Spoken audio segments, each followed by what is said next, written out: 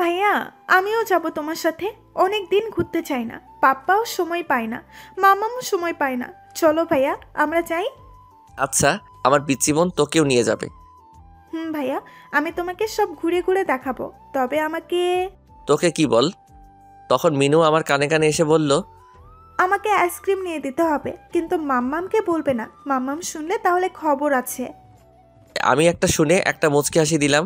তখন ছোট্ট আম্মু বলল কি রে? কানে কানে কি বলল রে ও? না ছোট্ট আম্মু কিছু না। হুম আমি জানি কি বলছে। আচ্ছা আজকে ভাইয়ার সাথে যাবি তাই খাবি কিন্তু প্রতিদিন না। এইভাবে বিকাল হয়ে এলো। মিনুকে নিয়ে ঘুরতে বাহির হলাম। ওকে আইসক্রিম কিনে দিলাম। এইভাবে ঘোরাঘুরি শেষ করে বাসায় ফিরলাম। এইভাবে চলতে লাগল আমার জীবন। প্রতিদিন কলেজ শেষ করে এসে মিনুকে নিয়ে ঘুরতে যাই আবার সন্ধ্যায় বাসায় ফিরি। এখন আর নরিনকে তেমন মনে পড়ে না তবে মাঝে মাঝে পড়ে। এইভাবে পার হয়ে গেল তিনটি বছর। আজকে নিজ বাসায় ফিরতেছি। এইভাবে তিনটি বছর পার হয়ে যায়, আজকে নিজের বাসায় ফিরবো, খুশিও লাগতেছে, আবার দুঃখও লাগতেছে। খুশির কারণ হলো আজ অনেক দিন অনেক বছর পর মা বাবাকে দেখব। আর দুঃখ হওয়ার কারণ হচ্ছে মিনু, ছোট্ট আম্মু ছোট্ট আব্বুকে ছেড়ে যেতে হবে। সন্ধ্যার সময় রওনা দিব। মনে মনে ভাবলাম আচ্ছা নরিনের মনে হয় বিয়ে হয়ে গেছে। হয়তো এতদিনে বাচ্চার মাও হয়ে গেছে। এইগুলো ভাবতেছি তখন মিনু বলল, ভাইয়া, তুমি চলে যাবে আজকে? হুম রে। ভাইয়া তুমি এখানে থেকে গেলে কি হয়?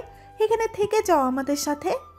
আমার তো যেতে ইচ্ছে করতেছে না রে। তোকে ছোট আম্মুকে আব্বুকে ছেড়ে যেতে কিন্তু যেতে হবে রে। আমার তো পড়াশোনা শেষ। ভাইয়া তোমাকে অনেক মিস করব। আমি ওরে তোদের সবাইকে মিস করব। তাই মাঝে মাঝে আসব তোদের দেখতে। মিনুর সাথে কথা বলতেছি তখন ছোট্ট আম্মু আসলো আর বলল কি রে তোদের মধ্যে আবার কি কথা হচ্ছে রে? তখন মিনু বলল মাম্মাম ভাইয়া তো চলে যাবে আজকে। তুমি ভাইয়াকে যেতে বারণ করো। না রে মামনি তোর ভাইয়া তো এখন অনেক বড় হয়েছে। ওখানে গিয়ে চাকরি করবে। তোর ভাইয়ার একটা দায়িত্ব আছে না? আমি ছোট্ট আম্মুর কথা শুনছি আর ভাবতেছি অনেক আপন করে নিলাম ওনাদেরকে। আমাকে কোনোদিন মা বাবার অভাবটা বুঝতে দেননি নিজের ছেলের মতো ভালোবাসছে। এটা ভেবে মন খারাপ হচ্ছে যে এত ভালো মানুষগুলোকে ছেড়ে যেতে হচ্ছে মনে মনে এই কথাগুলোই ভাবতেছি।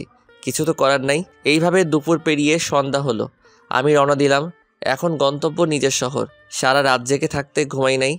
গাড়ির মধ্যে বাসায় পৌঁছে গেছি। বাবা মা কাউকে বলিনি আমি আসব। সেটা কারণ সারপ্রাইজ দিব তাদের। তাই বাসার কলিং বেল চাপলাম। একটু পর দরজা খুললো। মা আমাকে দেখে বলল কে আপনি? আপনাকে তো ঠিক চিনলাম না। কি? তুমি আমাকে চিনো না? আমি তোমার ছেলে তাহিন।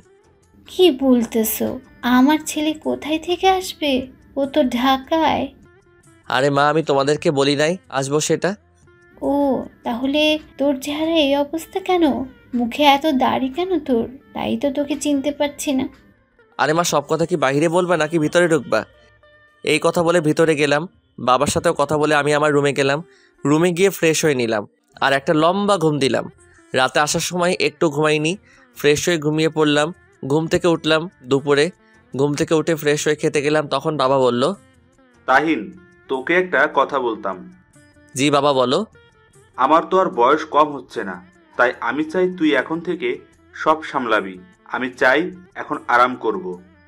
ঠিক আছে বাবা তবে কয়দিন পরে আগে একটু এলাকাটা ঘুরি অনেক দিন পর আসলাম। আচ্ছা ঠিক আছে।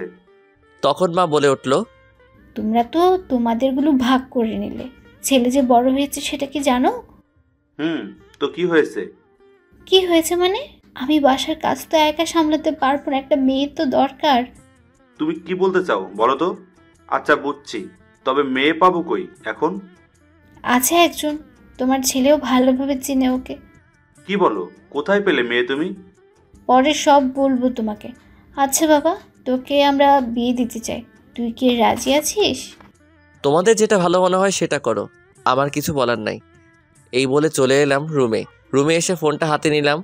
হাতে নিয়ে কিছুক্ষণ টিপতে লাগলাম। এইভাবে দুপুর পেরিয়ে গেল বিকাল এলো তাই একটু বাহিরে হলাম ঘুরতে। একটা নিরিবিলি জায়গায় দিয়ে হাঁটতে লাগলাম। পিছন থেকে মনে হলো কেউ ডাক দিল তাই পিছনে ঘুরে দেখি একটা মেয়ে। সে আমার কাছে আসলো। কাছে আসতে চিনতে পারলাম আরে এটা তো নরিন। হঠাৎ করে নরিন কাছে এসে বলল কেমন আছো? হঠাৎ ওর মুখে তুমি শুনে অবাক হলাম। ভালো আপনি কেমন আছেন? এই আছি। আপনি করে বলতেছো কেন? তাহলে কি করে বলব? আর কোন অধিকারে বলব? বলেন। ও। জি আচ্ছা। আমি এখন আসি। পিছন করে চলে আসতে যাব তখন নরিন আমার হাতটা ধরে বলল তুমি এত পাল্টে গেলে কীভাবে? যে তুমি আমাকে ছাড়া আর কিছু বুঝতে না সেই তুমি আজকে আমাকে এড়িয়ে যাচ্ছ? শুনেন সময়টা কিন্তু একরকম যায় না। হুম একটা দিন ছিল। আমি আপনাকে অনেক ভালোবাসতাম। তবে আপনি যখন আমাকে কোনো মূল্য দেননি আপনি তো অন্য কাউকে ভালোবাসেন। হয়তো তাকে বিয়ে করেছেন। তাহলে আপনি আমার কাছে আসতে চাইছেন কেন? আর হাতটা ছাড়েন। এত স্বার্থপর হলে কেমন করে তুমি? আচ্ছা একটা কথা জিজ্ঞেস করি বলবে? যদি বলার মতো হয় তাহলে বলব। তুমি কি আমাকে এখনও ভালোবাসো? আচ্ছা আমি আসি ভালো থাকবেন। এই দাঁড়াও আমার উত্তরটা দিয়ে যাও। এটা আমার কথার উত্তর না। উত্তরটা দাও। জানি না। আর আপনি কে? আমি আপনাকে এর কৈফিয়ত দিতে যাব কেন? আমি আসি এখন। এই বলে চলে আসতেছি। নরিন জোরে চিৎকার করে বলল, আমি জানি তুমি আমাকে এখনও ভালোবাসো। আমি শুনেও না শোনার ভান করে চলে আসছি। বাসায় এসে রুমে গেলাম। শুয়ে শুয়ে ভাবতেছি, কেন ওর সাথে আমার দেখা হলো কেন?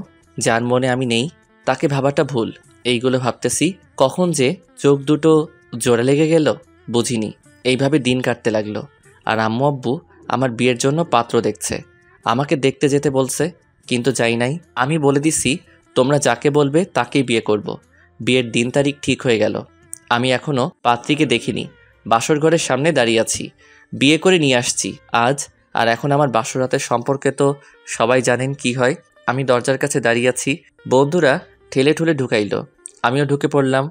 ভয় হচ্ছে, আবার খুশিও লাগতেছে। বউ দেখি, ইয়া, বড় একটা ঘোমটা দিয়ে খাটে বসে আছে। আমি কাছে গেলাম। কাছে যেতে আমাকে সালাম করল।